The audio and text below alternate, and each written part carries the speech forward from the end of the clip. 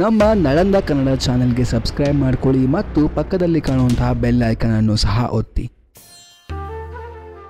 ಥಾರ್ ಮರುಭೂಮಿ ಭಾರತದ ಅತಿ ದೊಡ್ಡ ಮರುಭೂಮಿ. ಇದರ ವಿಸ್ತೀರ್ಣ ಬರೋಬ್ಬರಿ ಎರಡು ಲಕ್ಷ ಚದರ ಕಿಲೋಮೀಟರ್. ಇದು ನಮ್ಮ ಕರ್ನಾಟಕ ರಾಜ್ಯಕ್ಕಿಂತಲೂ ದೊಡ್ಡದಾಗಿದೆ. ಈ ಮರುಭೂಮಿಯ ಎಂಬತ್ತೈದು ಪ್ರತಿಶತ ಅಂದರೆ ಒಂದು ಲಕ್ಷದ ಎಪ್ಪತ್ತು ಸಾವಿರ ಚದರ ಕಿಲೋಮೀಟರ್ ನಮ್ಮ ದೇಶದಲ್ಲಿದ್ದರೆ ಉಳಿದ ಹದಿನೈದು ಪರ್ಸೆಂಟ್ ಭಾಗ ಪಾಕಿಸ್ತಾನದಲ್ಲಿದೆ. ಪಾಕಿಸ್ತಾನದಲ್ಲಿ ಈ ಮರುಭೂಮಿಯ ಭಾಗಕ್ಕೆ ಚೋಲಿಸ್ತಾನ್ ಅಂತ ಕರೀತಾರೆ. ಭಾರತ ಮತ್ತು ಪಾಕಿಸ್ತಾನ ದೇಶಗಳ ನಡುವೆ ನೈಸರ್ಗಿಕ ಗಡಿಯಂತೆ ಇದು ವರ್ತಿಸುತ್ತದೆ. ಸಾಮಾನ್ಯವಾಗಿ ನಮ್ಮ ದೇಶದಲ್ಲಿ ಮರುಭೂಮಿ ಎಂದೊಡನೆ ನಮಗೆ ನೆನಪಾಗುವುದು ಯಾವ ರಾಜ್ಯ ಹೇಳಿ? ರಾಜಸ್ಥಾನ್. ಯಾಕಂದ್ರೆ ಥಾರ್ ಮರುಭೂಮಿಯ ಅರವತ್ತು ಪ್ರತಿಶತದಷ್ಟು ಭಾಗ ಇರೋದು ರಾಜಸ್ಥಾನ ರಾಜ್ಯದಲ್ಲೇ.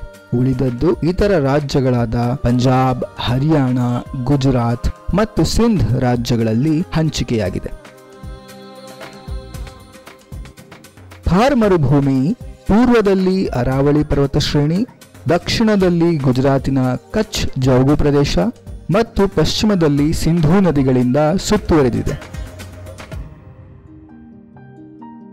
ಕೋಟ್ಯಾಂತರ ವರ್ಷಗಳ ಕಾಲ ನದಿಗಳು ಹೊತ್ತು ತಂದ ಮಣ್ಣು, ಅದರ ಮೇಲೆ ಮರಳಿನ ಹೊದಿಕೆ, ಅಲ್ಲಲ್ಲಿ ಮರಳಿನ ದಿಬ್ಬಗಳು, ಕೆಲವು ಉಪ್ಪು ನೀರಿನ ಸರೋವರಗಳು ಮಳೆಗಾಲದಲ್ಲಿ ಕೆಲ ಎತ್ತರದ ಸ್ಥಳಗಳ ಮೇಲೆ ಹುಟ್ಟಿ ಹರಿಯುವ ಮುನ್ನವೇ ಮರಳಿನಲ್ಲಿ ಇಂಗಿ ಆವಿಯಾಗುವ ಹೊಳೆಗಳು.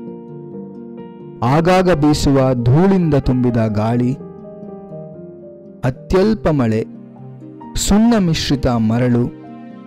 ವ್ಯವಸಾಯ ಮಾಡಲು ಸಾಧ್ಯವಾಗದ ಭೂಮಿ. ಇದಿಷ್ಟು ಥಾರ್ ಮರುಭೂಮಿಯ ಪರಿಸರ.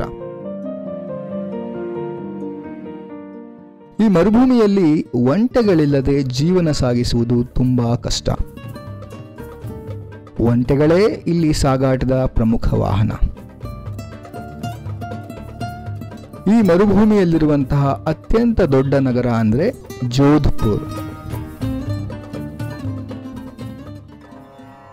ಭಾರತದ ಪುರಾಣಗಳ ಪ್ರಕಾರ ದೇಶದ ಪುಣ್ಯ ನದಿಯಾಗಿದ್ದಂತಹ ಸರಸ್ವತಿ ನದಿ ಇದೇ ಮರುಭೂಮಿಯ ಮೂಲಕ ಒಂದು ಕಾಲದಲ್ಲಿ ಹರಿಯುತ್ತಾ ನಂತರದಲ್ಲಿ ಬತ್ತಿ ಹೋಯಿತೆಂಬುದು ನಂಬಿಕೆಯಾಗಿದೆ.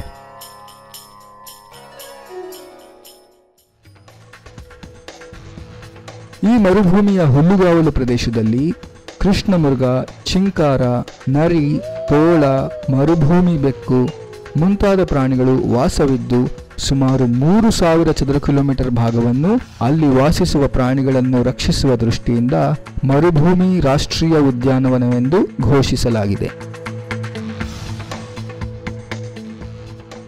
ಥಾರ್ ಮರುಭೂಮಿಯು ಅಪಾರ ಪ್ರಮಾಣದ ಖನಿಜ ಶಿಲೆಗಳನ್ನು ಹೊಂದಿದ್ದು, ತಾಜ್ ಮಹಲ್ ನಿರ್ಮಾಣಕ್ಕೆ ಬಳಸಲಾದ ಅಮೃತ ಶಿಲೆಯನ್ನು ಮಕ್ರಾನ್ ಎಂಬಲ್ಲಿ ಉತ್ಖನನದ ಮೂಲಕ ಹೊರತೆರೆಯಲಾಯಿತು.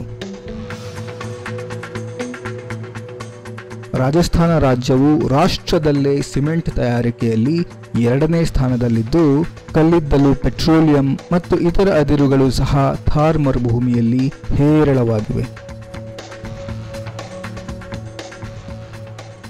ಈ ಮರುಭೂಮಿಯಲ್ಲಿ ಬೇಸಿಗೆಯಲ್ಲಿ ತಾಪಮಾನ ಐವತ್ತು ಡಿಗ್ರಿ ಸೆಲ್ಸಿಯಸ್ಗಿಂತಲೂ ಅಧಿಕವಾಗಿದ್ದರೆ, ಚಳಿಗಾಲದಲ್ಲಿ ಹತ್ತು ಡಿಗ್ರಿ ಸೆಲ್ಸಿಯಸ್ಗಿಂತಲೂ ಕಡಿಮೆ ಆಗುತ್ತೆ ರಾಜಸ್ಥಾನ ರಾಜ್ಯದ ಶ್ರೀ ಗಂಗಾನಗರ ಎಂಬುವಂತಹ ಪ್ರದೇಶ ಒಮ್ಮೆ ಐವತ್ನಾಲ್ಕು ಡಿಗ್ರಿ ಸೆಲ್ಸಿಯಸ್ ತಾಪಮಾನವನ್ನು ಹೊಂದಿದ್ದು ದಾಖಲಾಗಿತ್ತು. ಇದು ಇಡೀ ದೇಶದಲ್ಲೇ ಗರಿಷ್ಠ ತಾಪಮಾನದ ಸ್ಥಳವೆಂದು ಪರಿಗಣಿಸಲಾಗಿದೆ.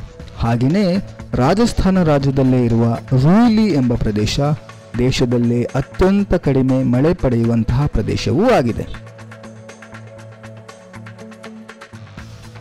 ಸದ್ಯ ಮರುಭೂಮಿ ಈಗ ಪ್ರವಾಸಿಗರ ನೆಚ್ಚಿನ ತಾಣವಾಗಿದೆ.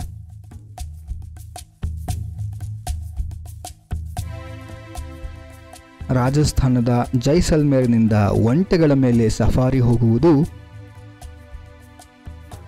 ಮರುಭೂಮಿಯ ಪರಿಸರದಲ್ಲಿ ದಿನಗಟ್ಟಲೆ ಕಳೆಯುವುದು, ಇಲ್ಲಿಯ ಸಂಸ್ಕೃತಿಯನ್ನು ಮತ್ತು ವರ್ಣಮಯ ಹಬ್ಬಗಳ ಆಚರಣೆ ವೀಕ್ಷಿಸುವುದು. ಈ ರಾಜ್ಯದ ಪ್ರವಾಸೋದ್ಯಮ ಅತ್ಯಂತ ದೊಡ್ಡ ಉದ್ಯಮವಾಗಿ ಬೆಳೆಯಲು ಸಹಾಯಕವಾಗಿದೆ.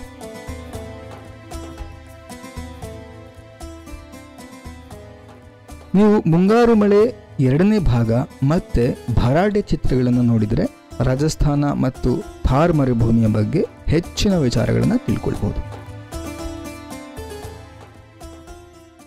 ಈ ವಿಡಿಯೋ ನಿಮಗೆ ಇಷ್ಟ ಆಗಿದ್ರೆ ಲೈಕ್ ಮಾಡಿ ಮತ್ತು ನಿಮ್ಮ ಅನಿಸಿಕೆಯನ್ನು ಕಮೆಂಟ್ ಮಾಡಿ, ಹಾಗೆ ನಿಮ್ಮ ಸ್ನೇಹಿತರ ಜೊತೆ ಕೂಡ ಶೇರ್ ಮಾಡಿ. ಮುಂದಿನ ವಿಡಿಯೋದಲ್ಲಿ ಥಾರ್ ಮರುಭೂಮಿಯಲ್ಲಿ ಜನಜೀವನ ಹೇಗಿದೆ, ಅಲ್ಲಿಯ ಸಂಸ್ಕೃತಿಯ ವೈಶಿಷ್ಟ್ಯತೆಗಳೇನು ಅನ್ನೋ ಹೆಚ್ಚಿನ ಮಾಹಿತಿಯನ್ನ ಕೂಡ ನಾವು ತಿಳಿಸ್ಕೊಡ್ತೀವಿ. ಇದರ ಜೊತೆಗೆ ಪ್ರಾಚೀನ ಈಜಿಪ್ಷಿಯನ್ ನಾಗರಿಕತೆ ಮತ್ತು ಸಿಂಧೂ ನದಿಯ ನಾಗರಿಕತೆಯ ಬಗ್ಗೆ ಸಹ ವಿಡಿಯೋಗಳು ಬರ್ತಾ ಇದೆ. ನಮ್ಮ ಚಾನಲ್ಗೆ ಈಗಲೇ ಸಬ್ಸ್ಕ್ರೈಬ್ ಮಾಡ್ಕೊಳ್ಳಿ ಮತ್ತು ಪಕ್ಕದಲ್ಲಿ ಕಾಣುವಂತಹ ಬೆಲ್ ಐಕನ್ ಅನ್ನು ಸಹ ಒತ್ತಿ, ಯಾಕಂದರೆ ಮುಂದಿನ ವಿಡಿಯೋಗಳ ನೋಟಿಫಿಕೇಶನ್ಸ್ ನಿಮಗೆ ನೇರವಾಗಿ ಸಿಗುತ್ತೆ. ವಿಡಿಯೋವನ್ನು ಪೂರ್ತಿಯಾಗಿ ನೋಡೋದಕ್ಕೆ ನಿಮಗೆಲ್ಲ ನಮ್ಮ ಧನ್ಯವಾದಗಳು. ಸಬ್ಸ್ಕ್ರೈಬ್ ಮಾಡೋದನ್ನು ಮರಿಬೇಡಿ.